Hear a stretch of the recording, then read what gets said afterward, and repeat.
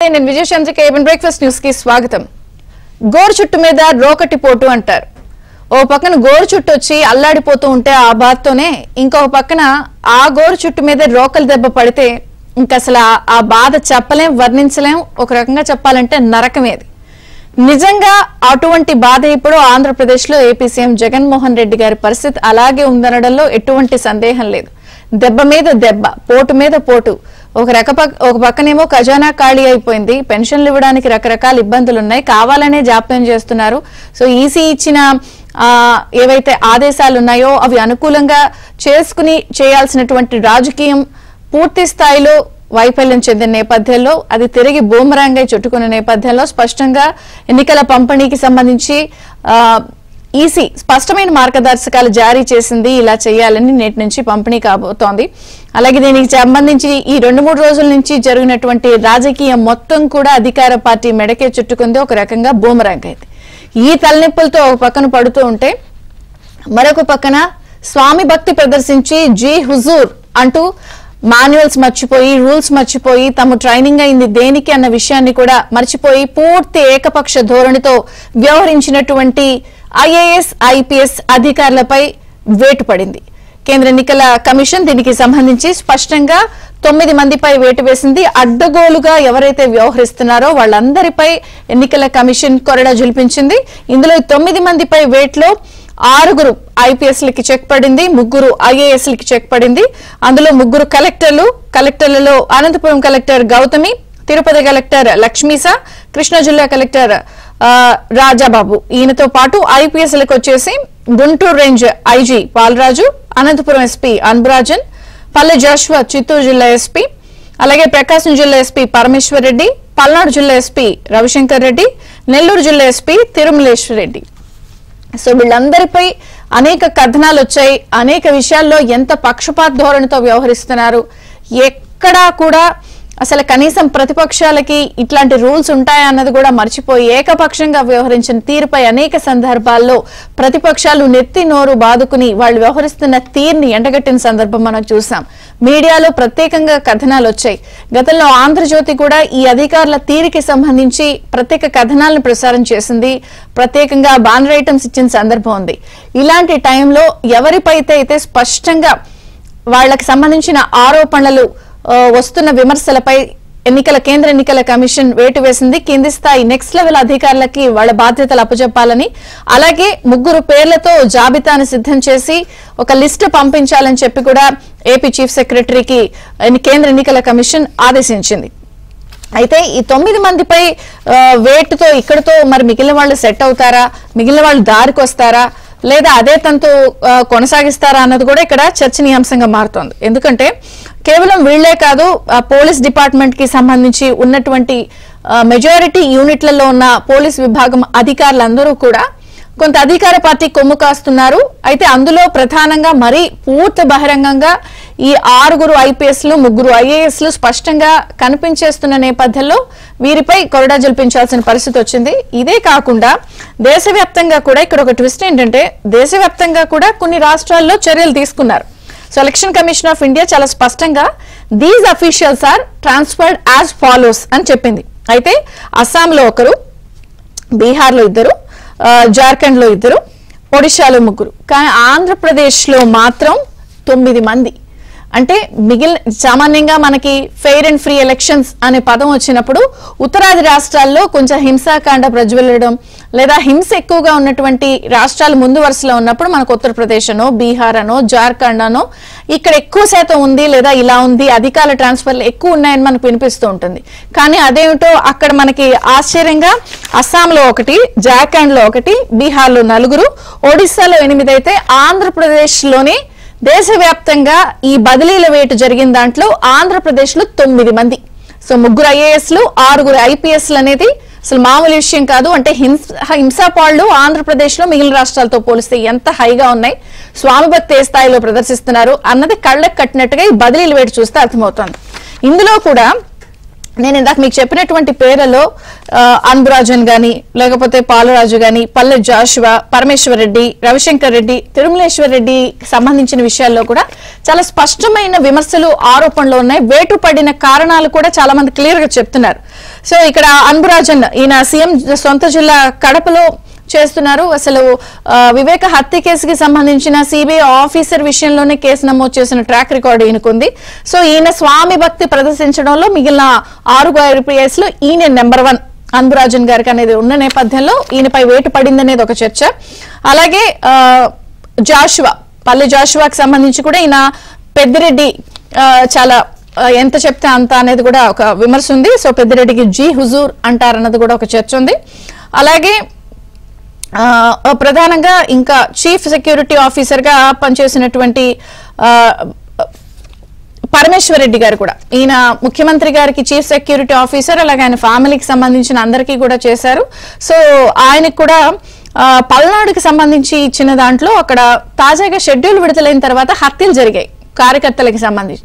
కొంత చూసి చూడనట్టుగా వ్యవహరించారు. హింసాకాండ విషయంలో కొంత ఆయన ఏకపక్షంగా వ్యవహరించారన్న విమర్శలు ఉన్నాయి సో ఆ విషయంలో వేటు పడిందని అంటున్నారు. అలాగే రవిశంకర్ రెడ్డి ఈయన కూడా అసలు పల్నాడులో ఫ్యాక్షన్ గొడవల ప్రాంతం అయినటువంటి పల్నాడులో అసలు పూర్తి ఏకపక్షంగా వ్యవహరిస్తున్నారు. అక్కడ స్వయాన కార్యకర్తలు వైసీపీ క్యాడరే మేమేం చేసినా మా మీద కేసులు ఉండవు. ఎదురు మీ మీదే కేసులు పడతాయన్నటువంటి స్టేట్మెంట్స్ కూడా చాలా వైరల్ అయిన సందర్భం మనం చూసాం. అలాగే తిరుమలేశ్వర్ రెడ్డి గారు ఈయన ప్రధానమంత్రి సభలో వైఫల్యాలకి సంబంధించిన విషయంలో కొంత ఈయనపై చర్యలు తీసుకున్నట్టుగా నివేదికలు అందిన రూపంలో చెప్తున్నారు. ఇక దొంగ ఓట్ల దెబ్బ విషయంలో ముగ్గురు కలెక్టర్లపై వేటుపడింది గౌతమి రాజబాబు. అలాగే తిరుపతి భూముల తనయుడు ఇలాకాలో కూడా ఈ ఏదైతే కలెక్టర్ ఉన్నారో లక్ష్మీస ఆయన వ్యవహరిస్తున్న తీరుపై కూడా కొంత విమర్శలు వస్తున్న నేపథ్యంలో మొత్తానికైతే తొమ్మిది మందిపై వేటు. ఆంధ్రప్రదేశ్ మొదటి వరుసలో ఉంది. మిగిలిన రాష్ట్రాలతో పోలిస్తే బదిలీల వేటలో మరి మిగిలిన వాళ్ళు దారికి వస్తారా? ఇది మొదటి విడత షాక్ ట్రీట్మెంట్గా చూడాలా? రాబోయే సంచలనాలకి ఇది వేదిక కాబోతోందా? సో మరి ఇప్పటికైనా మిగిలిన ఆంధ్రప్రదేశ్లో తొమ్మిది మంది సర్వీస్ అధికారులు ఎవరైతే స్వామి భక్తి ప్రదర్శించారో వాళ్ళందరిపై వేటు పడిన నేపథ్యంలో ఎలా చూడాలి?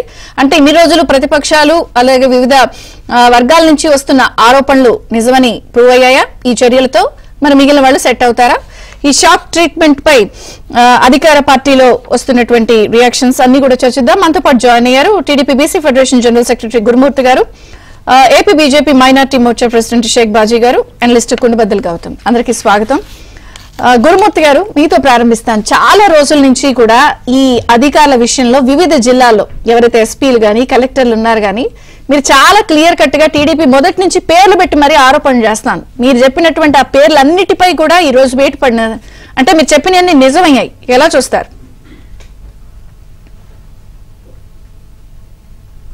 విజయచంద్రిక గారు మీకు ప్యానల్ ఉన్నటువంటి పెద్దలకు ఏబిఎన్ వీక్షకులకు హృదయపూర్వక నమస్కారాలు తెలియజేసుకుంటూ ఎందుకంటే వైసీపీ ప్రభుత్వం అధికారంలోకి వచ్చిన తర్వాత అధికార యంత్రాంగం ఏ విధంగా ఏకపక్షంగా ప్రవర్తిస్తా ఉందో ఏ విధంగా ఏకపక్షంగా వ్యవహరిస్తా ఉన్నారో ఈ విషయాలన్నీ ఎప్పటికప్పుడు మా నాయకులు జాతీయ తెలుగుదేశం పార్టీ అధ్యక్షులు చంద్రబాబు నాయుడు గారు మాట్లాడుతా ఉన్నారు. మా నాయకులు మాట్లాడుతున్నారు మేము మాట్లాడుతా ఉన్నాం. ఎందుకంటే వాళ్ళు చూసాం మనం. దా తొమ్మిది మంది ముగ్గురు ఐఏఎస్లు ఐదుగురు ఐపీఎస్లు. ఒకసారి వీళ్ళ గురించి మనం ఒకసారి ఆలోచిస్తే వాళ్ళ పాలరాజు ఎవరైతే ఉన్నారో ఆయన కావచ్చు అదేవిధంగా మన రవిశంకర్ రెడ్డి గారు కావచ్చు. ఏంటంటే వీళ్ళు ప్రధాని సభ సాక్షాత్తు ప్రధాని సభ జరుగుతా ఉంటే ఎంత దారుణం అంటే మేము వెళ్ళాం. అసలు మమ్మల్ని మధ్యలో నుంచే పంపిస్తారు ఎలటక్ లేదు అవకాశం లేదు అక్కడంతా కూడా ఇదైపోయింది. దారుణంగా ఉందని చెప్పి మధ్యలో నుంచే పంపించారు. అట్లా ఎక్కడెక్కడ మేము తిరిగి వస్తుంటే అన్ని చోట్ల కూడా ఇదే తంతు. ఆ విధంగా నిర్లక్ష్యంగా తర్వాత ప్రధాన సభలో మైకు దగ్గర జరిగిన పొరపాటు కావాలని ఎందుకంటే ఇంత దారుణంగా చేశారు కాబట్టి వీళ్ళ మీద వేటు పడింది. అదే విధంగా ఎవరైతే మీరు చెప్పారు ఇందాక అనుభరాజన్ నిజంగా వివేక హత్య కేసులో మరి సిబిఐ మీద కేసు పెట్టిన మహానుభావుడు ఈయన. అంతేకాదు ఇవాళ గతంలో మరి చిత్తూరు జిల్లాలో పనిచేసి ఇప్పుడు అనంతపురం పంపించారు. ఎందుకంటే అనంతపురంలో తెలుగుదేశం పార్టీ మరి బ్రహ్మాండంగా ఉంది. ఏం చేస్తావో తెలీదు. అక్కడ మొత్తం కూడా అనంతపురం జిల్లాలో వైసీపీకి రావాలని చెప్పి ఈయన్ని అక్కడ దూతగా మరి పంపించారు. ఇక జాషువా గారు జాషువా గారు మా కృష్ణా జిల్లా చేశారు. మా కృష్ణా జిల్లా చేసినప్పుడు నేను ఒక కేసు ఉదాహరిస్తా. మీకు కూడా తెలుసు. గన్నవరంలో మేము ఒక- ఒక బీసీ నాయకుడి మీద దాడి జరిగితే మేము కూడా వెళ్ళాం ఆ రోజున. అసలు ఎంత దారుణం అంటే ఆఫీస్ తగల పెట్టేసి మా మీద దాడులు చేసి మా పేరు తగల పెట్టేసి ఒక సిఐ గారితో మా మీద కేసులు పెట్టించారు ఈయన జాషువా గారు. గతంలో చిత్తూరు జిల్లాలో పెద్దిరెడ్డి గారి దగ్గర పనిచేశారు మళ్ళీ ఇప్పుడు అక్కడ మరి ఏదైతే కుప్పంలో చంద్రబాబు నాయుడు గారిని మరి పెద్దిరెడ్డి గారు ఆయన అనుచర వర్గాన్ని మళ్ళీ అక్కడ ఇష్టం వచ్చినట్టు చేయడానికి ఈ నేను కానించి రౌడీ షీట్లు పెడుతున్నారు. అదే విధంగా మరి ఎక్కడికక్కడే కార్యకర్తల కేసులు ఎదిరిస్తూ నానా ఇబ్బందులు పెడతా ఉన్నాడు. ఇవాళ ఈయన మీద కూడా ఎటు పడింది అదే విధంగా మరి పరమేశ్వర రెడ్డి ఎవరైతే ఉన్నారో మరి గతంలో ఆయన చిత్తూరులో చేశారు మళ్ళీ ఈ రోజున ప్రకాశానికి వచ్చాడు. ప్రకాశానికి ఎందుకు వచ్చాడు? అక్కడ చెవిరెడ్డి భాస్కర్ రెడ్డి గారికి ఆడకం ఉన్నటువంటి అనుబంధాన్ని ఇక్కడ నెరవేరుస్తా ఉన్నాడు. ఈయన కూడా అడ్డగోలుగా మరి పనిచేస్తా ఉన్నాడు. మరి తిరుమల తిరు- తిరుపతి తిరుమలేశ్వర రెడ్డి ఎవరైతే ఉన్నారో అక్కడ నెల్లూరు జిల్లాలో నారాయణ గారి మీద మరి దాడులు చేసి అనేక సార్లు సోదరులు చేసి ఏమి లేదని తెలిసినా కూడా నారాయణ గారి దగ్గర పనిచేసే వాళ్ళని బెదిరించటం దాడులు చేయటం నానా ఇబ్బందులు పెట్టటం అదే విధంగా అక్కడ మైనింగ్లో పెద్ద ఎత్తున దోపిడీ జరుగుతుంటే కనీసం కూడా పట్టించుకోకుండా వీళ్ళందరూ కూడా అధికార పార్టీ యంత్రాంగానికి కొమ్ము కాస్తున్నారు కాబట్టి అదే విధంగా దొంగ ఓట్ల విషయంలో ఐఏఎస్లు. ఇవాళ మన కలెక్టర్ గారు కృష్ణా కలెక్టర్ గారు పేరు నాని గారు ఏది చెప్తే అదే అంటాడు. వీళ్ళు వీళ్ళు ఇవాళ ఎంత దారుణం ఒకటి గుర్తుపెట్టుకో వీళ్ళందరూ కూడా. గతంలో రాజశేఖర రెడ్డి గారి దగ్గర పనిచేసినప్పుడు ఐఏఎస్లు ఐపీఎస్లు జైలుకి వెళ్ళినటువంటి పరిస్థితి చూసాం ఇవాళ కూడా ఆ పరిస్థితి మీరు తెచ్చుకోవద్దు. ఎందుకంటే మనం తెలుగుదేశం హయాంలో ఎప్పుడు కూడా ఎవరిని ఏ విధంగా ఎంతవరకు ఉపయోగించుకోవాలో ప్రజాస్వామ్య వ్యవస్థలో అభివృద్ధి సంక్షేమం కోసం ఉపయోగించుకునేవాడు చంద్రబాబు నాయుడు గారు. కానీ జగన్మోహన్ రెడ్డి వచ్చిన తర్వాత అన్ని కూడా కక్షలు కార్పణ్యాలు అడ్డగోలుగా నిబంధనలకు ఉల్లంఘించి ఇవాళ పోలీస్ వ్యవస్థ అంటే ఒక నమ్మకం. పోలీస్ వ్యవస్థ అంటే ఒక రక్షణ. పోలీస్ వ్యవస్థ అంటే ఈ సమాజాన్ని కాపాడతారనేటువంటి ఒక గౌరవం. అలాంటిది మొత్తం పోలీస్ వ్యవస్థ మొత్తం మరి వాళ్ళని వదిలేసి తాడేపల్లి ఆదేశాలను మాత్రమే వీళ్ళు పాటిస్తారు. తాడేపల్లిలో ఉన్న జగన్మోహన్ రెడ్డి గారు చెప్పేటువంటి అడ్డగోడ ఆదేశాలు పాటించారు కాబట్టి ఇవాళ వీళ్ళందరికి కూడా ఐఏఎస్ఎల్కి ఐపీఎస్ఎల్కి స్థితి వచ్చింది. ఇవాళ ఒకటి గుర్తుపెట్టుకోవాలి. ఇవాళ ఎవరైతే ఎలక్షన్ కమిషన్ ఉందో ఒక్కసారి ఎలక్షన్ కమిషన్ చర్యలు తీసుకుంటే భవిష్యత్తులో అది ఒక మాయన మచ్చగా జీవితాంతం ఉంటుంది. కాబట్టి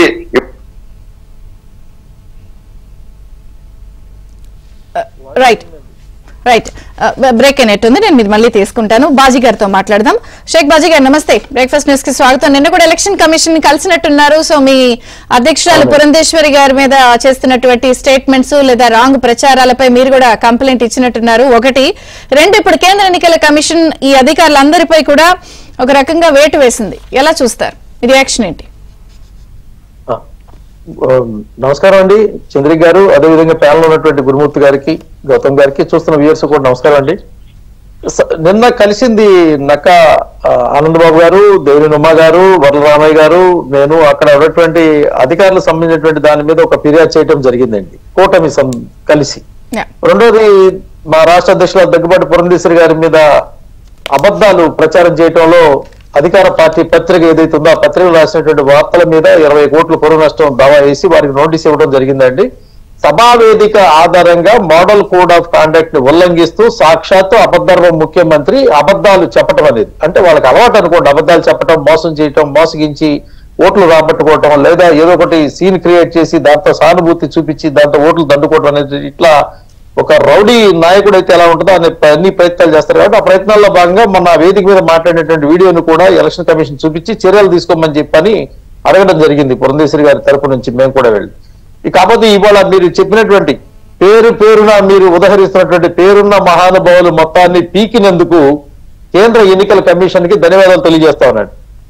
ఇవాళ కుట్రలు కుప్ప కూలిపోయినాయండి వాళ్ళ యొక్క ఆలోచనలు ఏవైతే ఉన్నాయో అక్కడ వాళ్ళు ఇక్కడ మార్చుకోవాలి ఇక్కడ వాళ్ళు అక్కడ మార్చుకోవాలి ప్రతి పేరుకి ఉన్నటువంటి చరిత్ర నేపథ్యాలు. ఇప్పుడు దాకా ఉన్నటువంటి పరిస్థితి అనమాట రాలిన పూలు ఇప్పుడు దాకా పాడినటువంటి పాటలు ఏవైతే మొత్తానికి కూడా కాలం చెల్లినటువంటి స్థితిలో ఈ ఎన్నికలు ఇక ధైర్యంగా ప్రజలు బయటకు వచ్చి ఓట్లు వేసుకోవచ్చు చంద్రిక గారు. ఓకే. వాళ్ళు ఎవరు? వాళ్ళ పల్నాడు ప్రాంతంలో కుటుంబాలతో సహా పారిపోయి దాదాపు ఐదేళ్ళ పాటు ఎక్కడైతే బయట ప్రాంతాల్లో తలదాచుకున్నటువంటి భార్య బిడ్డలతో ఉన్న వాళ్ళందరూ కూడా వెనక్కి రావాల్సినటువంటి పరిస్థితి. ఆనాడు కూడా కన్నా లక్ష్మణ్ గారు రాష్ట్ర అధ్యక్షుడు ఉన్న సందర్భంలో మేము ఆ పోలీస్ స్టేషన్ ముట్టడించడం జరిగిందండి. ఆ రోజున ఈ పోలీసులు సమాధానం ఏం చెప్పారంటే కొంతకాలం ప్రాణాలు కాపాడుకో తప్పనటువంటి పరిస్థితి అనేది. అది మొట్టమొదటిలో ఉన్నటువంటి పరిస్థితి. నిదానంగా సాధు జంతువులు ఉన్నటువంటి పోలీసులు అందరూ కూడా ఈ ఐదు సంవత్సరాల్లో విష జంతువులు దాదాపుగా వీళ్ళ యొక్క అనుకూలంగా మారిపోయినటువంటి పరిస్థితి. అందుకనే ఇప్పుడు ప్రజలు ఏమనుకుంటున్నారంటే చట్టం తమ చేతుల్లో చేసుకొని అధికారులు ఉన్నటువంటి రౌడీలకి చుట్టంగా మారిపోయినటువంటి తరుణంలో ఈ యొక్క నికృష్టులు ఎవరైతే ఉన్నారో వాళ్ళని కృష్ణ జన్మస్థానంలో పెట్టి జైలు పోసిన పల్లెలు పట్టించాలని చెప్పిన కోరిక ప్రజల్లో ఉందండి ఓట్లు వేసుకునేటువంటి ధైర్యాన్ని చంపేసేటువంటి ప్రక్రియ. దొరికినటువంటి దొంగ ఓట్లని వాళ్ళు కాదని పంపించేటువంటి ప్రక్రియ. ఇందాక మీకు ఐఏఎస్ లక్ష్మీ షా చెప్పారండి. లక్ష్మీ షా చేసినటువంటి పెద్ద కుంభకోణం ఏంటంటే ఈ రాష్ట్రంలో ఉన్నటువంటి అసెంబ్లీలు ప్రతి అసెంబ్లీలకి ముప్పై వేల దొంగ ఓట్లు తయారు చేయడానికి కారణమైనటువంటి ఈమెయిల్ ఐడీలు మెయిల్ ఐడీలు ఆయన వైఎస్ఆర్ వైఎస్ఆర్సీపీ పార్టీకి ఇచ్చేశారండి. ఆయన ఆ జిల్లాలో ఇచ్చినందువల్ల తిరుపతి ఎలక్షన్లో వాళ్ళు అడ్డగోలుగా ఎలక్షన్ చేసుకున్నటువంటి పరిస్థితి జరగటం వల్ల ఆ ఎలక్షన్లో దాదాపుగా దొంగ ఓట్లను పట్టుకున్న వాళ్ళు కూడా పోలీసులు పక్క తీసుకెళ్ళడం వదిలిపెట్టడం మళ్ళీ కార్డు చేతిలో పెట్టడం మళ్ళీ పంపించడం ఇలా జరుగుతుందని చెప్పి తిరుపతిలో ఉన్నటువంటి మైగ్రేటెడ్ పీపుల్ ఎవరైతే ఉన్నారో ఆ యొక్క పవిత్ర స్థలంలో ఉన్నటువంటి ఓటర్లు కూడా ఓటేయడానికి కూడా రాలేదండి. బెదిరించి వాళ్ళ పోలింగ్ బూత్కు రాకుండా చేసి వాళ్ళ పేరు మీద నకిలీ ఓట్లు దొంగ ఓట్లు తయారు చేసినటువంటి ఒక కుట్రలో ప్రధాన భాగస్వామి ఈ లక్ష్మీ షా కలెక్టరేట్. ఇది ఫిర్యాదు చేయడం దగ్గుబాటి పురంధేశ్వరి గారు అదేవిధంగా మా రాష్ట్ర కార్యదర్శి మట్టప్రసాద్ గారు అనేక మంది పెద్దలు అక్కడికి వెళ్ళి ఢిల్లీలో కంప్లైంట్ చేసిన తర్వాత ఈ రోజున వాళ్ళ మీద వేటు పడిందండి. అప్పటికి సస్పెన్షన్ చేశారు జైలుకి కూడా పంపించడం జరిగింది. ఆయన అరెస్ట్ చేయడం కూడా జరిగింది.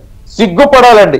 ఐఏఎస్లు ఐపీఎస్లుగా చదువుకొని కన్న తల్లిదండ్రులు పెంచినటువంటి పెట్టినటువంటి తిండి తిని వాళ్ళు రైతు బిడ్డలు కావచ్చు సామాన్యుడి బిడ్డలు కావచ్చు లేకపోతే కష్టించి పనిచేసినటువంటి తల్లిదండ్రులు పుట్టిన బిడ్డలు కావచ్చు ఢిల్లీలో చదువుకున్నటువంటి చదువుని రాజ్యాంగం మీద చేసినటువంటి ప్రమాణ స్వీకారాన్ని కడుపుకి అన్నం తింటూ అన్నం తింటూ అమ్మ పాలు తాగేటువంటి దాని మీద మర్చిపోయి సమాజంలో ఎవరైతే దొంగలు రాజకీయ నాయకులుగా రూపమెత్తితే ముఠాకోరులు ప్రధానమైనటువంటి పదవుల్లోకి వస్తే ఆ ముఠాకారుల యొక్క కాళ్ళు నొక్కడానికి వాళ్ళ కాళ్ళ మూజెత్తి నీళ్ళు తాగడానికి సిద్ధపడినటువంటి ఐఏఎస్ ఆఫీసర్లు ఎవరైతే ఉన్నారో వాళ్ళు వాళ్ళ పదవులకి రాజీనామా చేయాలి లేదా తల్లిద్రోహం చేసిన వాళ్ళ కింద వాళ్ళు పరిగణించాల్సినటువంటి పరిస్థితి. ఇటువంటి వ్యక్తుల్ని ఇవాళ ఆంధ్రప్రదేశ్ రాష్ట్రంలో మిగతా అస్సాంలో బీహార్ కన్నా కూడా ఆంధ్రప్రదేశ్ రాష్ట్రాన్ని ఎత్తి చూపింది కేంద్ర ప్రభుత్వం. ఆంధ్రప్రదేశ్ మిగిలిన ఒకటి రెండు నాలుగు ఎనిమిదే ఒడిస్సా కూడా ఎనిమిదే. అస్సాం ఒకటి. బీహార్ అసలు సామాన్యంగా ఇలాంటివి మనం వినిపిస్తూ ఉంటాం. వాళ్ళకు కూడా ఒక్కళ్ళే తొమ్మిది మంది మనకి ఆంధ్రప్రదేశ్లో బీహార్ గతంలో ఉన్నటువంటి బీహారు ఈ నేటి బీహార్ కన్నా గతంలో ఉన్నటువంటి బీహార్లో ఉన్నటువంటి రోబరీ ఎవరైతే దారి దోపిడి దొంగలను మించినటువంటి దొంగలు వాళ్ళ రాష్ట్రంలో ఉన్నారు. మీకు ఒక విషయం చెప్పదలుచుకున్నానండి. ఇవాళ ఎవరైతే వాలంటీర్ వ్యవస్థను ఏర్పాటు చేసి వాళ్ళందరూ మా వాళ్ళే అని చెప్పినటువంటి ఆనాటి విజయసాయి రెడ్డి దగ్గర నుంచి వీళ్ళు మా కార్యకర్తలే మీరు పనిచేయండి అని చెప్పినటువంటి జగన్మోహన్ రెడ్డి దగ్గర నుంచి మీరందరూ అనుసంధానంగా ఉండి ప్రభుత్వాన్ని గెలిపించాలని చెప్పినటువంటి మంత్రుల మాటల దగ్గర నుంచి మారి ఇవాళ దాదాపు ముప్పై ఐదు వేల మంది రాజీనామా చేసి పోలింగ్ బూత్లో కూర్చొని సిద్ధపడుతున్నటువంటి వాళ్ళు వాళ్ళ మీద కూడా ఫిర్యాదు చేయడం జరిగిందండి. వాలంటీర్గా పనిచేసిన వాడికి ఎవరికి బాధ్యత వద్దని చెప్పాలి ఇవాళ వాలంటీర్ వ్యవస్థని మా పార్టీ కార్యకర్తలు అని చెప్పి బంగారు లాంటి వాళ్ళ మీద ఉన్నటువంటి విశ్వాసాన్ని ప్రజలు నమ్ముకున్నటువంటి వాళ్ళ మీద గౌరవాన్ని కూడా తీసేస్తున్నటువంటి వైసీపీ పార్టీ. ఇప్పుడు మేము ఏమడుతున్నాం అంటే ఒక అంతగుడికి కడప ఎంపీ పార్టీ ఎలాగ ఇచ్చిందో టికెట్ ఎలాగ ఇచ్చిందో వీళ్ళందరినీ కూడా తక్షణం ఐఏఎస్ ఐపీఎస్ వాళ్ళు రిజైన్ చేపించి వాళ్ళకు కూడా ఎమ్మెల్యేలు ఎంపీలు ఇచ్చి నిలబెట్టి వాళ్ళు కూడా బోర్డులు వేసి ఈయన స్కామ్ చేశాడు ఈయన స్కామ్ చేశాడు ఈయన స్కామ్ చేశాడు అని ప్రజల మధ్యకి వెళ్తే వాళ్ళు కూడా ఓట్లేసి. డీజీపీ గారికి వీళ్ళందరికీ కూడా తెలిసే జరుగుంటుందిగా. ఏదైనా కాన్ఫరెన్స్లో అయినా వీళ్ళని పేరెత్తి వార్నింగ్ చేసి ఉంటారు కదా. వాళ్ళ దృష్టికి వచ్చినా కూడా ఇలాగే అంత బరి తెగించి కొనసాగారు అంటే మరి డీజీపీ గారి మీద సిఎస్ గారి మీద కూడా చర్యలు తీసుకోవాలా? డీజీపీ రాష్ట్రానికి ఒక ఆట బొమ్మగా మారిపోయినటువంటి పరిస్థితిలో సీఎస్ పూర్తిగా జగన్మోహన్ రెడ్డి ఇంట్లో ఉన్నటువంటి ముఖ్య సలహాదారుగా మారిపోయినటువంటి స్థితిలో వాళ్ళ అనుసంధానంలో ఉన్నటువంటి సర్ఫ్ సీఈఓ గాని వాళ్ళు నాటకం ఆడదామని వేసినటువంటి డ్రామా ఫెయిల్ అయినటువంటి పరిస్థితి పెన్షన్ పెన్షన్ వ్యవహారంలో. ఇవాళ తొమ్మిది మంది అధికారులు ఉన్నతాధికారులు పక్కన పెట్టి తీసుకొచ్చి పదవిలో కూర్చోబెట్టినటువంటి ఎఫ్ఐసి స్థానంలో కూర్చోబెట్టినటువంటి ఈ రాష్ట్రంలో ఉన్నటువంటి డీజీపీ ఎవరైతే ఉన్నారో అనుచిత వ్యాఖ్యలు ముందుగా మనం చేయకూడదు కాబట్టి ఆగుతున్నాము. దాని ఫలితాలు కూడా త్వరలో వస్తాయండి. ఖచ్చితంగా రాష్ట్రంలో ప్రశాంతమైనటువంటి ఎన్నికలు జరగడానికి కావాల్సినటువంటి ప్రక్రియ కేంద్ర ఎన్నికల కమిషన్ తీసుకుంటుంది. రాష్ట్రంలో కూడా సమర్థవంతమైనటువంటి పరిస్థితులు ఇవాళ స్టేట్ ఎన్నికల ప్రధానమంత్రి వచ్చిన ఒక సభకి ఏకపక్షంగా వ్యవహరించిన తీరు కళ్ళకు కట్టినట్టు కనిపించింది. అంటే అరాచకం అనేది ప్రధాని సభకు కూడా మినహాయింపు కాదని ప్రూవ్ అయింది చిలకలూరుపేటలో. దేశభక్తుడైనటువంటి నిజాయితీ పరుడైనటువంటి ప్రధానమంత్రిని రాష్ట్రంలోకి వస్తే అవమానించారు. ఆయన యొక్క షాల్ వేసుకోవడానికి కూడా అవకాశం ఇవ్వకుండా అగౌరవపరిచారు. దండ వేసి పిలవడానికి లేకుండా బొక్క ఇవ్వడానికి అవకాశం లేకుండా వస్తున్నటువంటి ప్రజల్ని అడ్డగించి దారుల మీద నిలిచేలాగా ఆ సభ ఫెయిల్యూర్ నిర్మించేలాగా ఆయన మాట్లాడేటువంటి మాటకు కూడా అవకాశం లేకుండా చేసినటువంటి దౌర్భాగ్యమైనటువంటి ప్రభుత్వంలో పనిచేసినటువంటి అధికారులు ఇవాళ రెండు ఇద్దరు ముగ్గురు మాత్రమే శిక్ష అనుభవించారు ఇంకా అనుభవించాల్సిన వాళ్ళు ఉన్నారు. చంద్ర గారు లెక్క. రైట్ గురుమూర్తి గారు ఇందాక మీరు కట్ అయిపోయింది. నేను ఒక పాయింట్ అడుగుదాం అనుకున్నాను. ఒకటి ఆన్సర్ చేయండి సార్ మీరు అధికారులతో చాలా ఫ్రెండ్లీగా ఉన్నారు. లేదా అధికారులకి చాలా రకంగా ఫ్రెండ్లీ అట్మాస్ఫియర్ క్రియేట్ చేసినా మీకెదురు తిరిగిన సందర్భాలు చూసాం. కానీ ఇక్కడ రేపొద్దున ప్రూవ్ అవుతున్నాయి విమర్శలు వస్తున్నాయి చర్యలు తీసుకుంటున్నారు. కెరీరే పోద్దని చెప్పి కళ్ళకు కట్టినట్టు కనిపిస్తున్నా కూడా ముఖ్యమంత్రి గారికి అధికార పార్టీ కొమ్ము కాస్త అంట కాగుతున్నారు. ఏంటి కారణం? మీకు అలా ఎందుకున్నారు వ్యవస్థలో పోలీసులు డిపార్ట్మెంట్ సర్వీస్ బ్యాచ్ అధికారులు?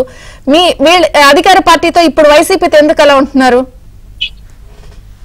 ఇప్పుడు ఇక్కడ రెండు విషయాలు మీరు గమనించాలండి. చంద్రబాబు నాయుడు గారిని తీసుకునేపాటికి చంద్రబాబు నాయుడు గారు ఏంటంటే ఎప్పుడు వచ్చినా కూడా ఆయన ఒక విజనరీ ఉన్నటువంటి వ్యక్తి. ఈ రాష్ట్రాన్ని అభివృద్ధి సంక్షేమాన్ని దృష్టిలో పెట్టుకునే అధికారులతో పనిచేసేవాడు. కానీ ఇక్కడ ఇప్పుడు వచ్చినటువంటి ముఖ్యమంత్రి జగన్మోహన్ రెడ్డి గారు ఎవరైతే ఉన్నారో ఆయనకి అభివృద్ధి సంక్షేమంతో పని లేదు. ఆయన వచ్చిన దగ్గర నుంచి కూడా కక్షలు కార్పణ్యాలు ఇదే పనిలో ఉన్నాడు కాబట్టి ఆయన ఏం చేశాడు? ఆయనకి అండకాగినటువంటి అధికారులు ఆయన మాటినటువంటి అధికారులు తీసుకొచ్చి అభివృద్ధి సంక్షేమాన్ని గాలి కొదిలేశాడు. ఆనాడు చంద్రబాబు నాయుడు గారు అధికార యంత్రాంగాన్ని మొత్తాన్ని కూడా రిక్వెస్ట్ చేశారు కొత్తగా ఏర్పడినటువంటి రాష్ట్రం. మీరందరూ మనకు సహకరించండి. అందరూ కలిసి పనిచేద్దామని చెప్పి రిక్వెస్ట్ చేసి ఆయన అభివృద్ధికి బాటలు వేశాడు. కానీ నేనేం చేశాడు ఈ వచ్చిన కాడి నుంచి కేసులు కానివ్వండి హత్యలు కానివ్వండి దాడులు కానివ్వండి ధ్వంసాలు కానీ చేస్తా ఉంటే దానికి వంటపడుతా ఉన్నారు అధికారులు. ఈ అధికారులు చేసింది ఆయన అభివృద్ధికి చంద్రబాబు నాయుడు గారు బాగిస్తే ఈయన అభివృద్ధికి బాటలు కాబట్టి వీళ్ళిద్దరికి అంత వ్యత్యాసం ఉంది. కాబట్టి ఈ రోజు అధికారులు తెలుసుకోవాల్సింది ఏంటంటే ఎవరైనా సరే ఇవాళ ఇవాళ అధికారం ఉంది అభివృద్ధి చేసినా ఏం అనుకుంటే పొరపాటు. గతంలో రాజశేఖర రెడ్డి గారి టైంలో చూడండి. ఐఎన్ఎస్ ఐపీఎస్ రాజశేఖర రెడ్డి గారి టైంలో ఎవరు జైలుకి జగన్మోహన్ రెడ్డి గారు వాళ్ళ జైలుకి వెళ్ళారు. ఈ రోజు కూడా గుర్తుపెట్టుకోవాలి. ఇవాళ ఎవరు జగన్మోహన్ రెడ్డి గారి ఆదేశాలు అడ్డగోలుగా అమలు చేస్తారు. వీళ్ళందరికంటే పైన ఇద్దరు ఉన్నారు. వాళ్ళిద్దరిని ఫస్ట్ మార్చాల్సింది మరి దాన్ని వదిలేసి కింద ఉన్న కలుపు మొక్కల్ని పీకినట్టుగా వీటిని పీకారు. అసలు మొక్కలు పైన రెండు ఉన్నాయి? సిఎస్ డీజీపీ డీజీపీ గారేంటి ఇప్పుడు? ఆయన డైరెక్ట్ డీజీపీ కాదు. ఆయన యాక్టింగ్ డీజీపీయే దాంతో పాటుగా సిఎస్ గారు కూడా ఉన్నారు. ఆయన మీద కూడా కొన్ని ఆరోపణలు వచ్చినాయి చూడండి. వివేకానంద రెడ్డి హత్య కేసులో ఓఎస్డి ఏది సీఎం గారు ఓఎస్డిని కడప కారాగారంలో విచారణకు పిలిచినప్పుడు ఈయన కారు ఎక్కించుకొని తీసుకొచ్చాడనే ఆరోపణలు కూడా ఉన్నాయి. మరి వాటన్నిటిని ఏం చేశారు వాటన్నిటిని ఏం పరిగణలోకి తీసుకోలేదు వీళ్ళని చేసేటప్పుడు ప్రకాశం ఎస్పీని బదిలీ చేయడానికి మున్నయ్య హత్యను తీసుకోవటం లేకపోతే మిగతా వాళ్ళ దానికి సభలో. జరిగిన దాన్ని రవిశంకర్ రెడ్డిని ఆయన్ని బదిలీ చేయటం లాంటివి. తీసుకున్నారు కదా మరి వీళ్ళ మీద ఏం తీసుకున్నారు అనేది ఇక్కడ ప్రధానమైన అంశం ఎందుకంటే ఈ తొమ్మిది మంది లాంటి వాళ్ళని ఇంకా చాలా మందిని అపాయింట్ చేయగలిగిన అథారిటీలో వాళ్ళు ఉన్నారు సిఎస్ కానీ డీజీపీ కానీ ఇద్దరు వాళ్ళు అక్కడే ఉన్నారు. ఎందుకంటే నిన్న బదిలీలు జరిగిన దగ్గర నుంచి మనకి తెలుస్తున్న అంశం కింద ప్రచారం జరుగుతున్న అంశం కూడా ఎక్కువగా ఇదే. సిఎస్ డీజీపీని మారిస్తే సరిపోయేదాన్ని కిందనున్న చిన్న చిన్న మొక్కలను మాత్రమే పీకుతున్నారు అని. దాంతో పాటుగా ఏంటంటే ఈరోజు అధికార పక్షానికి కొమ్ము కాస్తున్న వాళ్ళు ఈవెన్ చిన్న స్టేషన్ ఎస్హెచ్ఓతో సహా మొత్తం వాళ్ళ పక్షానే ఉన్నారు. ఏదైనా చేయటానికి తయారైపోతూ ఉన్నారు. దీని అంతటికి కారణం అంటే ఎవరంటే ఏపీలో ఎంతమంది యూనిట్ పోలీసులు ఉన్నారో మెజారిటీ అనేది వినపడుతుంది విమర్శ. మెజారిటీ ఆల్మోస్ట్ అసలు ఏంటంటేనండి చాలా మంది కొన్ని సన్నాయి నొక్కులు నొక్కుతూ ఉంటారు కానీ ఈ- పోలీసు వ్యవస్థలో అందరూ చెడ్డవాళ్ళని మేము చెప్పం కానీ కొంతమంది మంచి వాళ్ళు ఉంటారు అని ఒకటి. ఒక స్లాష్ ఒకటి తీస్తారు చూడండి. అలాంటిది అక్కడ లేనే లేదు అది పెద్ద నెక్సస్. లంచం కూడా పెద్ద నెక్సెసే. ఎవరికి దండిన దొరికినంత వాళ్ళు దండుకొని జేబులో పెట్టుకోవటం ఏముండదు ఊరికే అంటున్నారా? మీకు దృష్టికి మీరు కావాలంటే ఒక ఎస్పీ ఆఫీస్ దగ్గర నుంచి తీసుకుందామండి. ఎస్పీ ఆఫీస్ దగ్గర నుంచి ఉన్- ఉన్న దాంట్లో కింద ఏదైనా ఒక మండలంలో ఉన్న చిన్న స్టేషన్ హౌస్ దాకా తీసుకుంటే ఈ ఎవరికి దొరికింది వాళ్ళు లంచాలు తీసేసుకొని వాళ్ళ జేబులో పెట్టుకోవటం ఏముండదు. ఉమ్. మొత్తం అంతా కలిపి పూల్ చేసి ఆ పూల్ని తీసుకెళ్ళి ఎస్పీ ఆఫీస్లో పెట్టిన తర్వాతనే ఎవరికి ఏ గ్రేడ్ ప్రకారంగా ఎలాగా ఎస్ఐ అయితే ఎంత ఉంటుంది కానిస్టేబుల్ అయితే ఎంత ఉంటుందనే ఒక కొన్ని భాగాలతోటి వీటన్నిటిని డివైడ్ చేసుకుంటారు. అందుకనే లంచం ఎప్పటికీ మన భారతదేశంలో పోనే పోంది. ఎందుకంటే పైనున్న అధికారుల దగ్గర నుంచి కిందనున్న వసూలు చేసే వాళ్ళ దాకా మొత్తం ఇదే నెక్సెస్లోనే ఉంటారు. మరి ఇంకెక్కడండి మంచివాళ్ళు? పోనీ ఎవరన్నా వచ్చారు మంచోడే వచ్చాడు అనుకున్నా కూడా ఈ నెక్సెస్లో కలిసిపోవటం తప్ప వేరే మార్గం లేనే లేదు. మరి అప్పుడు ఏం చేస్తారు? మరి ఇదే కదా వీళ్ళందరి ధైర్యం. ఇప్పుడు శ్రీలక్ష్మి లాంటి వాళ్ళందరినీ వీళ్ళు ఆదర్శంగా తీసుకొని ఫస్ట్ వచ్చినప్పుడు మంచిగా ఉండొచ్చేమో. తరువాత మారిపోయే అవకాశాలు లేవా ఉంటాయి కదా. పైనున్న వాళ్ళని బట్టి పైనున్న పాలనని బట్టి వీళ్ళు కూడా మారిపోయే అవకాశాలు మెండుగానే ఉంటాయి. కాబట్టే ఈ తొమ్మిది మందితో సరిపోదు. ఎందుకంటే మిగతా వాటితో పోలిస్తే ఇక్కడ బాగా జరిగింది ఎక్కువ జరిగిందని మనం అనుకుంటున్నాం. మన పరిస్థితులు చూడండి. చంద్రబాబు నాయుడు గారు మాచర్లో జరిగిన కొన్ని ఘటనల్ని వాళ్ళందరినీ పరామర్శించడం కోసం ఆయన బయలుదేరి వెళ్తే రానీయకుండా ఇంటికి తాళ్ళు కట్టి ఆపేశారు. ఆయన తిరిగి ఇంట్లోకి వెళ్ళిపోవాల్సి వచ్చింది. ఎంతమంది మీడియా పీపుల్ మీద కానీ లేకపోతే బయట సభలో ఆంధ్రజ్యోతి ఫోటోగ్రాఫర్ మీద కాళ్ళతో పిడిగుద్దులు గుద్ది ముఖం మీద గుద్ది ఆ వీడియోలు అన్ని క్లియర్గా ఉన్నా కూడా ఇప్పటి వరకు కేసు ఏమైందో తెలియదు. ఆయన ఇప్పుడు చాలా విపరీతంగా వస్తున్నాయి కంప్లైంట్లు పోలీస్ ఆఫీసర్ని ఏం చేయాల్సి ఉంది? మిగతా చోట్ల కూడా చూడండి యువగాళం పాదయాత్ర కోసం ఈ లోకేష్ తిరుగుతూ ఉంటే ప్రతి చోట అన్ను నిత్య- ఆయన్ని ఇబ్బంది పెడతానికే ఉన్నారు. చివరికి స్టూల్ కూడా లేకపోయారు. ఏం ప్రతిపక్షాలు బయటకు తిరగొద్దా? అలాంటి పరిస్థితులు ఉన్నాయిగా. ఇది మనం ఇప్పుడు కొత్తగా ఏదో రెండు మూడు ఘటనలు చూసి మాట్లాడటం లేదండి. ఐదు సంవత్సరాల పాలన చూసే మాట్లాడుతున్నాం. మొట్టమొదటిగా జరిగిన ఇన్సిడెంట్ దగ్గర నుంచి నిన్న జరిగిన ఇన్సిడెంట్ వరకు తీసుకుంటే మొత్తం ఎన్ని ఉంటాయండి? లక్షల్లో ఉన్నాయి. ప్రతి అంశంలోనూ ఉన్నాయి. ఈ కాదేది కవితకు అనర్హం అన్నట్టు ఇక్కడ ఏ విషయంలోనైనా సరే అదే జరుగుతుంది. టీడీపీ వాళ్ళ కార్యకర్తల మీద పెట్టిన కేసులు కూడా వేలల్లోనే ఉన్నట్టున్నాయి గురుమూర్తి గారు? ఓవరాల్గా మీ వాళ్ళందరి మీద కేసులు ఎన్ని వేలు ఉంటాయి? వేలల్లో ఉండేటండి లెక్కలేనన్ని ఉన్నాయి. ఎందుకంటే ప్రతి జిల్లాలో కూడా వేలల్లోనే ప్రతి జిల్లాకి రాష్ట్రంలో కూడా కాదండి. అంతమంది మీద కేసులు పెట్టారు. మరి- ఇలాంటి పరిస్థితుల్లో తొమ్మిది మందిని తొలగిస్తే సరిపోతుందా? ఇంకా ఎలక్షన్ సజావుగా జరుగుతుందనే ఏదన్నా ఉందా? ఈ పార్టీకి ఇరవై ఆరు లక్షల పైచులకు దొంగ ఓట్లు ఉన్నాయని ఎలక్షన్ కమిషనే స్వయంగా వాళ్ళు రిలీజ్ చేయటం జరిగింది. అందులో ఎన్ని తీసేశారు. మిగతా ఎన్ని ఎన్ని ఎన్ని బ్యాలెన్స్ ఉన్నాయి? Almost all fifteen to sixteen lakhs అలాగనే దొంగ ఓట్లు బ్యాలెన్స్ ఉన్నాయి. మరి అవన్నీ నియోజకవర్గానికి ఇరవై నుంచి ముప్పై వేలు అంటున్నారు. అంటున్నారు. ఇంకా ఎక్కువే ఉండొచ్చు. తక్కువ ఉండొచ్చు అని అను- అనుకోవచ్చు. దాంతో పాటుగా ఎక్కువ కూడా ఉండొచ్చు అని అనుకోవచ్చు కదా. వాటన్నిటిని పోల్ చేయించడానికి ఎవరు కావాలి? ఈ అధికారులు లాంటి వాళ్ళే కావాల్సిన అవసరం ఉంది కదా. అందుకోసం అని చెప్పి వీళ్ళు ముందు నుంచే ఇన్ప్లాంట్ చేసుకుంటా వచ్చారు. ఇందాక మీరు చెప్పారు ఈ అధికారులందరూ చంద్రబాబు నాయుడుకి భయపడలేదు కానీ జగన్మోహన్ రెడ్డికి ఎందుకు అనేది భయపడుతున్నారు అన్నారు అధికారులతో ఎంప్లాయీస్తో ఫ్రెండ్లీ వాతావరణం అనేది వింటా కూడా ఎదురు తిరిగిన సందర్భం గత ప్రభుత్వంలో చూసాం. అవునండి. ఇప్పుడు ఎక్కడికక్కడ రెస్ట్రిక్ట్ చేస్తున్నారు విన మాట వినకపోతే దారి తెచ్చుకుంటున్నారు లేదా వీళ్ళే కొమ్ము కాస్తున్న ఘటనలు ఇవన్నీ కనపడుతున్నా కూడా అంటకాగుతున్నారు. ఇప్పుడు చర్యలు తీసుకున్నారు. బెదిలి వేటు అంటే వాళ్ళ సర్వీస్లో ఒక బ్యాడ్ రిమార్క్. బ్యాడ్ రిమార్కే ఉంటుంది. కానీ బయట వచ్చే వేరే రిమార్కులు చాలా ఉంటాయి కదండి. వాళ్ళతో అంట కాగినందువల్ల వచ్చే లాభాలు చాలా ఉంటాయి. మరి అదే కదా ప్రలోభం? అంటే మరి శ్రీలక్ష్మి గారు కూడా వాళ్ళు కూడా చాలా బాగా చేసిన ఆఫీసరే అంతకు ముందు వరకు. జగన్మోహన్ రెడ్డి గారు వచ్చిన తర్వాత ఆవిడంత అవినీతి పరు రాలేదని అయిపోయిందిగా. ఆవిడ జైలుకు కూడా వెళ్ళవలసి వచ్చింది. ఇక ఎంతెందుకండి? సిఐడి సునీల్ కుమార్ గారు ఉన్నంత వరకు కానీ తర్వాత మారిన సంజయ్ ఉన్న ఇప్పుడు వాడు ఆయనే కంటిన్యూ అవుతున్నాడు. వీళ్ళు వీళ్ళు డైరెక్ట్గా అసలు ఫీల్డ్లోకి వెళ్ళి ఇంతకు ముందు ఎప్పుడైనా చూసారా? ఏ గవర్నమెంట్ లోనైనా చూసారా? సిఐడి డైరెక్ట్గా ఫీల్డ్లోకి వెళ్ళి వాళ్ళే అరెస్ట్ చేసి తీసుకొని రావటం ఈవెన్ సుమోమోటోగా ఈ ట్రిపుల్ ఆర్ గారు పెట్టిన కేసు సుమోటోగా తీసుకున్నదే. రఘురామకృష్ణరాజు గారి మీద కేసు పెట్టి ఆయన తీసుకొచ్చి సిఐడి ఆఫీసులో చెత్తకొట్టిన దీంట్లో ఆయన సుమోటోగా తీసుకొని వచ్చారు. వాళ్ళు ఎలా తీసుకున్నారు.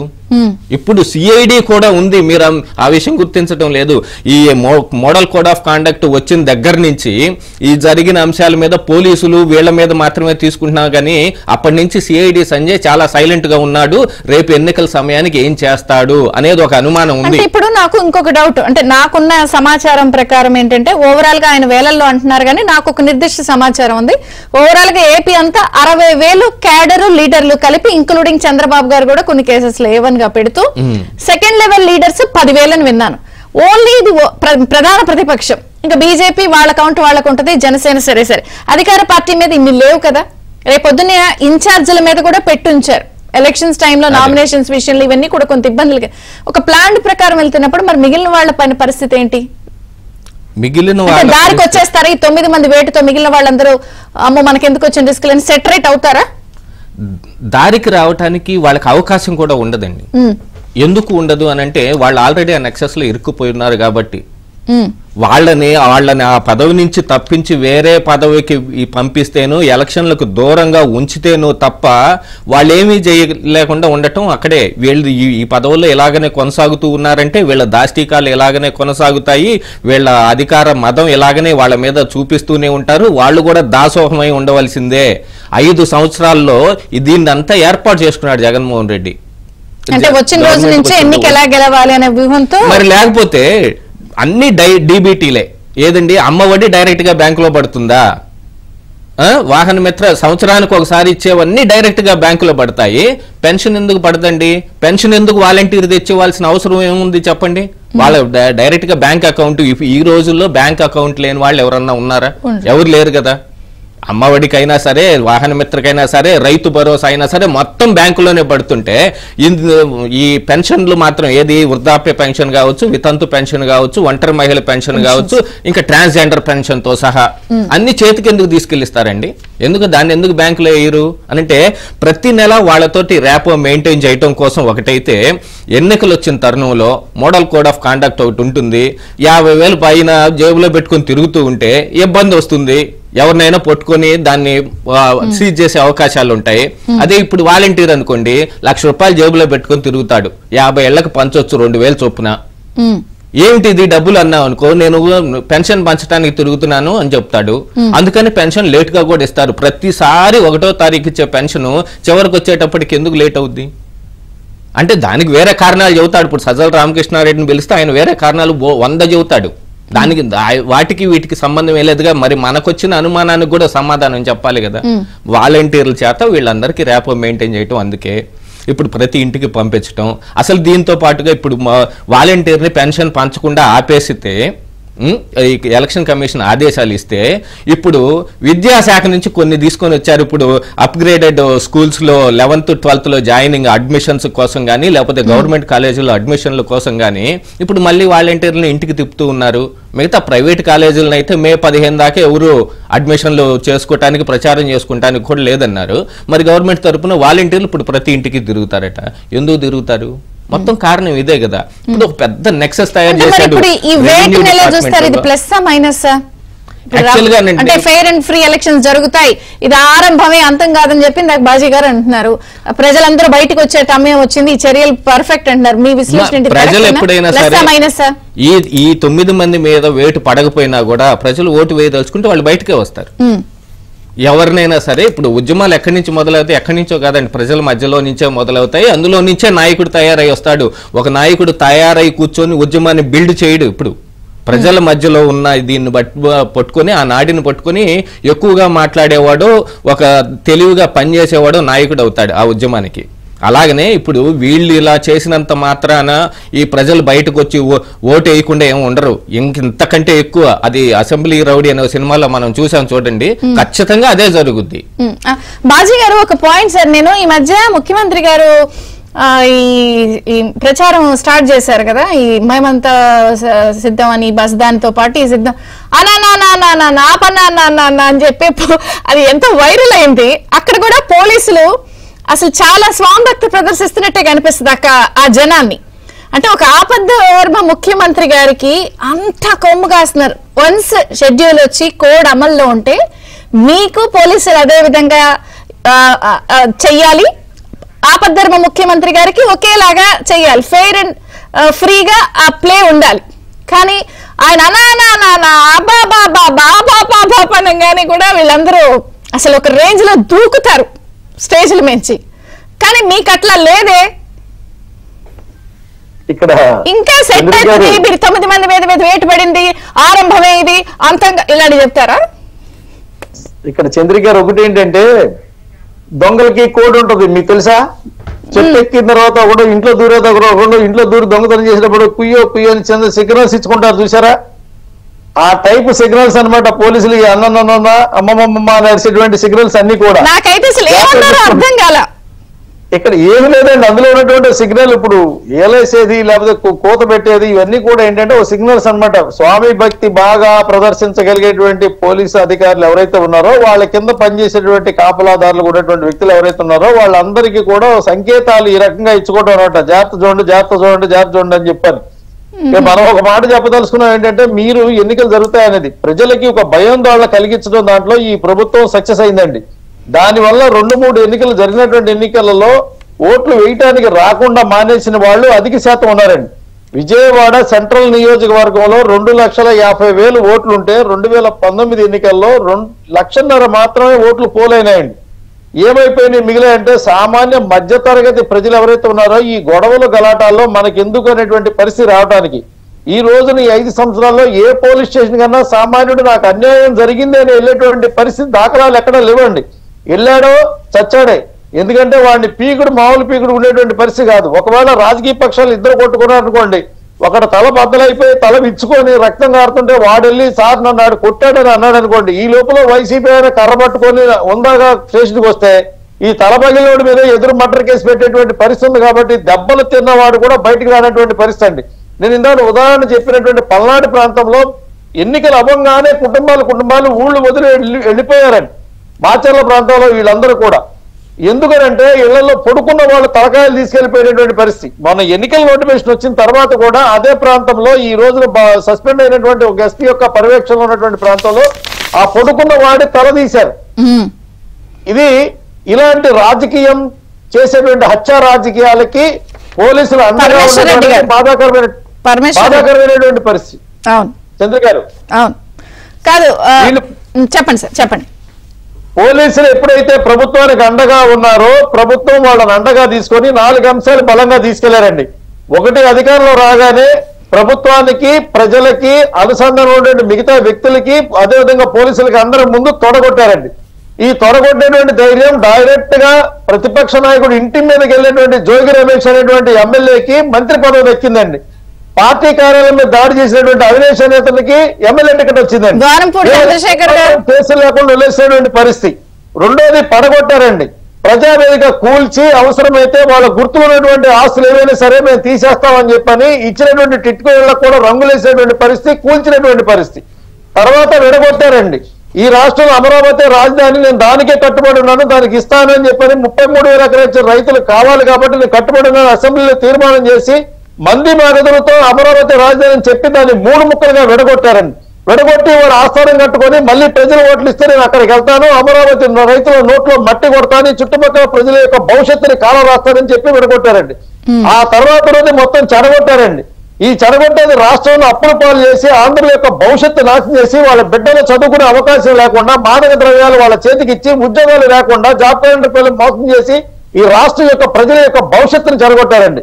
తొడగొట్టారు పడగొట్టారు విడగొట్టారు చెడగొట్టారు. వీరికి అధికారం అన్నటువంటి కాపలా ఉన్నటువంటి జీవులుగా మారినటువంటి వ్యక్తులైనటువంటి ఈ అవినీతి అధికారులు ఎవరైతున్నారో వాళ్ళు అండగా నిలబడ్డారు. ఈ పరిస్థితి మారాలి అంటే మీరు ధైర్యంగా వాళ్ళ ప్రజలు బయటకు వచ్చి ఓటేయాల్సినటువంటి అవసరం ఉందండి. ఈ మీ ద్వారా నేను తెలియజేయగలిగేది ఏంటంటే ప్రజాస్వామ్యంలో ప్రజలు ఓటు అనుభవ వినియోగించుకోవాలి. వ్యతిరేకం చేసినటువంటి ప్రజా వ్యతిరేక ప్రభుత్వాన్ని ఇంటికి పంపాలంటే ధైర్యం చేసి బయటకు వచ్చి ఓటేయాలండి. రోజునే మనం మనం వాళ్ళు అవుతాం. రైట్ రైట్ రైట్ గురుమూర్తి గారు ఏదో చెప్పబోయారు పాయింట్ రైజ్ చేశారు. మీరు చెప్పండి బ్రేక్ తీసుకుంటాను. మీకు మీకు ఒక మాట గారు, విజయ చంద్రిక బాజీ వన్ మినిట్ ఆయన పాప మీద పాయింట్ రైజ్ చేశారు. ఆ, ఆ, ఇవ్వ. ఇప్పుడు నేను చెప్పాలనుకున్న బాధ్య గారు ఇందాక ప్రస్తావించాడు. నేనేమంటానంటే ఇవాళ అధికార యంత్రాంగం ఎవరైతే ఉన్నారో వాళ్ళందరూ ఒకసారి గుండె మీద చేసుకుని ఒకసారి ఆలోచించమంటున్నా. ఇవాళ జగన్మోహన్ రెడ్డి గారు ముఖ్యమంత్రి అయిన తర్వాత ఆలోచించట్లేదనే ఆలోచించట్లేదనే ఇప్పుడు ఈ చర్యలు. ఆ, అదే-. మీరు? అసలు జరగాల్సింది. నే- నేను అనేది ఏమంటానంటే ఇవాళ జగన్మోహన్ రెడ్డి గారు ముఖ్యమంత్రి అయిన తర్వాత ఇవాళ ఉద్యోగ సంఘాలు గాని ప్రజా సంఘాలు గాని అనేక సమస్యల మీద ఉద్యమాలు చేస్తే జగన్మోహన్ రెడ్డి గారి ఇంటి పది ఐదు కిలోమీటర్ దూరం కూడా కానీ చంద్రబాబు నాయుడు గారి ఇంటి మీద దాడికి జోగి రమేష్ ఎలా ఇచ్చారు మా పక్కన డీజీపీ ఆఫీస్ ఎక్కడ? తెలుగుదేశం పార్టీ ఆఫీస్ పక్కన. మరి దాడి చేస్తే ఇంతవరకు కేసు అతీగతి ఉందా నిజంగా భారత రాజ్యాంగం మీద భారత దీని మీద ప్రమాణ స్వీకారం చేసి వచ్చినటువంటి వీళ్ళు చదువుకున్నటువంటి వీళ్ళు ఐఏఎస్ ఐపీఎస్ ఏకపక్షంగా వెళ్తున్నారంటే ఇంతకన్నా సిగ్గుచేటైనటువంటి విషయం ఏమైనా ఉందా. ఆ రోజున మనం తెలుగుదేశం హయాంలో ఒక అభివృద్ధి సంక్షేమానికి కట్టుబడి దానికి మాత్రమే మేమందరం మేము ఉపయోగించుకున్నాం ఆ రోజు ఉద్యోగ యాభై రోజుల్లోనే ఇప్పుడు అక్కడ వద్దని చెప్పి వేటు వేశారు. ఇది ఒక రకంగా చెప్పాలంటే వాళ్ళు ఎక్కడెక్కడెక్కడెక్కడ ఎవరెవరిని అనుకుని. ప్లేసింగ్ చేశారో అవన్నిటికీ కూడా చెక్ డాట్స్ అది.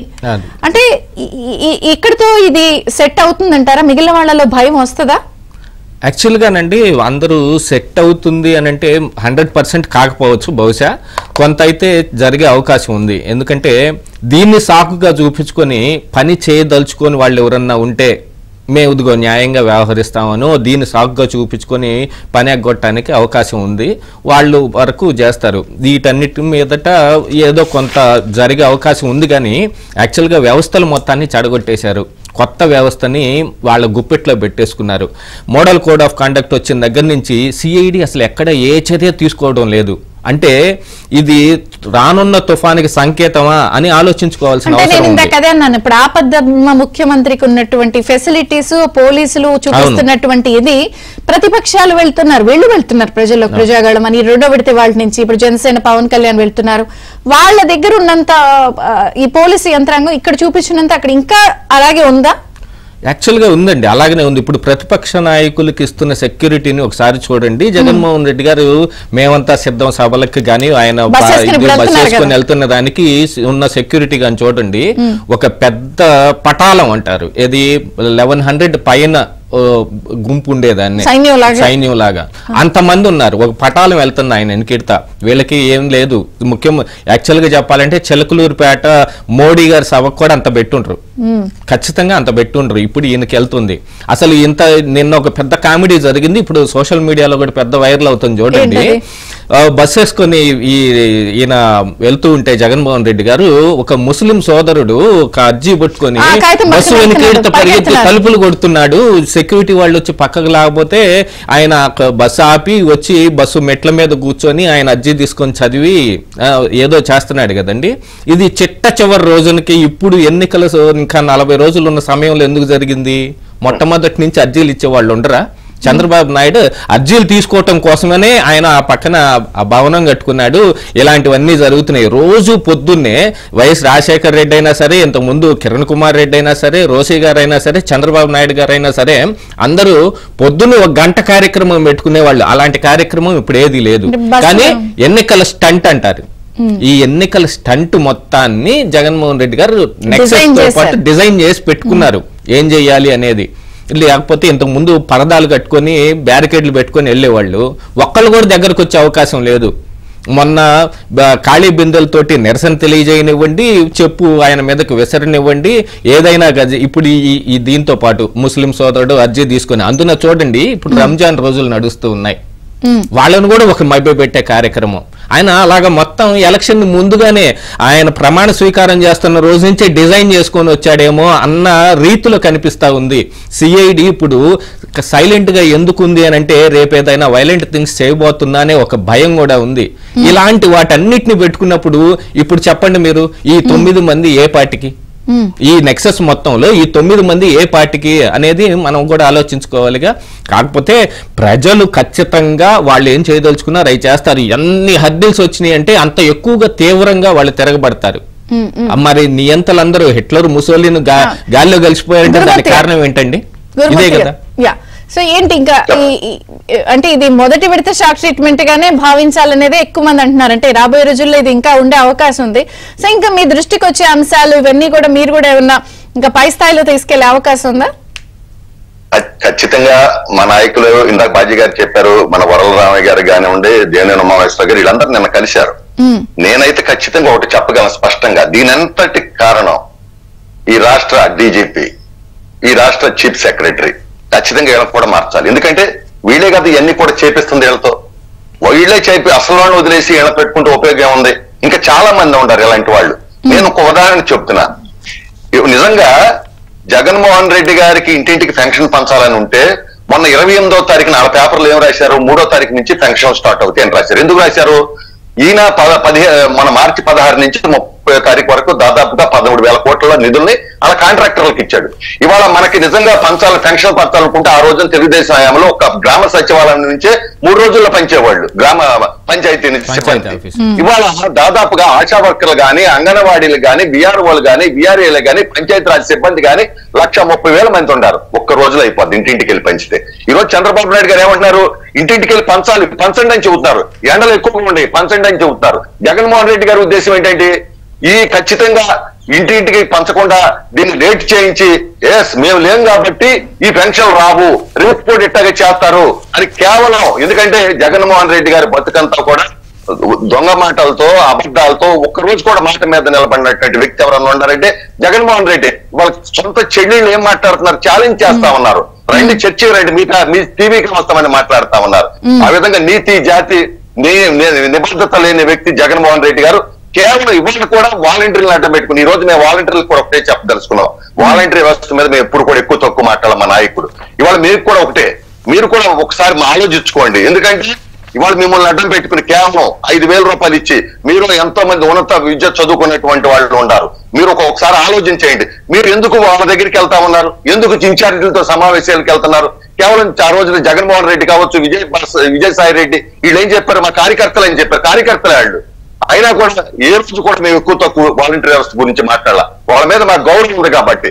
కాబట్టి ఈ రోజు కూడా వాళ్ళందరూ కూడా ఆలోచించుకోవాలి. ఇవాళ సార్ ఒకటి కనపడుతుందిలేండి. ఏమిటి అనేది అయితే ఒక రకంగా ఈ వేట్తో ఫెయిర్ ప్లే కాస్కారం అనే చర్యలు నెమ్మది నెమ్మదిగా కనిపిస్తున్నాయి. కానీ వీటన్నిటితో పాటు ఆ నట వీర నటనాసూర కరుణాత్మక కరుణామయుడు సీన్లన్నీ కూడా ఇప్పుడే కనపడుతున్నాయి. బాజీ గారు స్క్రీనుల్లో అసలు ఎన్ని దాన్ని ఏమంటారు? కరుణామయుడి సీన్లు జాలిగుండ అంతా ఇప్పుడే వచ్చింది బయటికి. అంతకుముందు ఏమో కాగితాలు వేసి శ్రీ శ్రీస్ దొల్లేసేవారు. ఇప్పుడేమో అసలు మొత్తం జాలిగుండ అన్ని సీన్లు ఇప్పుడే. పోలీసులు కూడా అప్పట్లో ఈడ్చి పడేసేవారు నేను అంటుంది అందుకే పోలీస్ పోలీస్ పోలీస్ అని స్ట్రెస్ చేస్తున్నాను. ఆ, ఇప్పుడు కరుణామయుడి దగ్గరికి వెళ్తుంటే పోలీసులు ఆపట్ల జా- ఇక్కడ ఇక్కడ మ్, చంద్ర గారు. చెప్పండి. కంక్లూడింగ్ ఇవ్వండి. ఆ, ప్రజల ఆశీస్సులు దేవుని దయ. ఉంటే బాబాయిని అంత పగడ్బందీగా హత్య చేసేటువంటి అవకాశం దొరికిద్ది. ప్రజల ఆశీస్సులు దేవుడి దయ ఉంటే కన్న తల్లిని పదవిలోంచి పీకి అవతల పారేసిన పరిస్థితి ఉంటది. అదేవిధంగా ప్రజల ఆశీస్సులు దేవుడి దయ ఉంటే సొంత చెల్లిని గొంతు పట్టుకొని గోడగేసి కొట్టేటువంటి అవకాశం ఉంటుంది. అదేవిధంగా ఈ ఆశీస్సులన్నీ ఉంటే మద్యపాన నిషేధం చేస్తానని మోసం చేసి మంగళసూత్రాలు తెంపినటువంటి అవకాశం మళ్ళీ వస్తుంది. సిపిఐ రద్దు చేస్తానని చెప్పని అధికారులకు వచ్చిన తర్వాత వాళ్ళకి మొండి చూపించిన పరిస్థితి వస్తుంది. నిరుద్యోగులు ఎవరైతే ఇందాక కామెంట్ అంటే కొత్తదా అని చెప్పారు. మా మా- మా డిబేట్ అని చెప్పారు. సి అంటే క్యాపిటల్ పి అంటే పోలవరం ఎస్ అంటే స్పెషల్ స్టేటస్ సిపిఎస్ అని నేను చేయను అని ముందే చెప్పారు. మీరే క్యాచ్ చేయలేదని. ఇంకో మాట కూడా చెప్తారు. ఇప్పుడు మన దాంట్లో ఉన్నటువంటి వాళ్ళు కూడా. చంద్రబాబు గారు నమ్ముకున్న వాళ్ళు ఏమో సాఫ్ట్వేర్ ఇంజనీర్ అయ్యారు జగన్ నమ్ముకున్న వాళ్ళే వాలంటీర్లు అయ్యారు అని చెప్పి కామెంట్ పెడతా ఉన్నారు చాలా ఆశాస్పదం ఉంది కాబట్టి చెప్తారు అదేవిధంగా సో ఫైనల్గా నిరుద్యోగులకి ఇంకా ఏమన్నా పర్టికులర్ అధికారుల మీద ఇంకా చర్యలు తీసుకోవాల్సిన ఏమైనా పెండింగ్ ఉన్నాయా? ఈ మేరకు ఏమైనా డిమాండ్ చేస్తారా? ఫైనల్గా. రాష్ట్రానికి కేంద్రం నుంచి సాధారణ వ్యవహారాలు పర్యవేక్షించడం కోసం రామ్మోహన్ మిశ్రా గారిని అదేవిధంగా శాంతి భద్రతల పర్యవేక్షణ కోసం దీపక్ మిశ్రా గారిని బ్రహ్మాండమైనటువంటి ఆఫీసర్ని రాష్ట్రానికి వేయటం జరిగింది. ప్రజలు నిర్భయంగా వచ్చి ఓట్లేసి ఈ రాష్ట్రాన్ని కాపాడుకోవాలి. లేకపోతే రాష్ట్రంలో వెనకబడినటువంటి రాష్ట్రాల జాబితాలోకి మనం వెళ్ళిపోతాం. ఈసారి ఇప్పటి వరకు ఒక కేటగిరీ పీపుల్ ఈ రాష్ట్రాన్ని వదిలిపెట్టి వెళ్ళిపోయారు. పరిశ్రమలు పెట్టే వాళ్ళు కానీ పారిశ్రామిక ఉత్సాహం ఉన్న వాళ్ళు కానీ ఉద్యోగాలు చేయాలనుకున్న వాళ్ళు కానీ కర్ణాటక తెలంగాణ రాష్ట్రాలకు వెళ్ళిపోయినటువంటి పరిస్థితి. ఇంకా. రెండో క్యాడర్ కూడా వెళ్ళిపోతే ఈ రాష్ట్రంలో మిగిలేది ఏం ఉండదు. మళ్ళీ ఇదే ప్రభుత్వం కనుక పొరపాటున కనుక నిర్ణయం జరిగిందా ఈ రాష్ట్రం ఖాళీ అయిపోతుంది ఎడారిగా మారిపోద్ది ఇక శవాలను పీకు తినే వాళ్ళు ఇళ్ళలోకి వచ్చి హత్యలు చేసేటువంటి పరిస్థితి అవుతుంది తస్మాత్ జాగ్రత్త అని చెప్పని తెలియజేస్తా ఉన్నాను. Thank you thank you Shaik Baji garu. Gurumurthy garu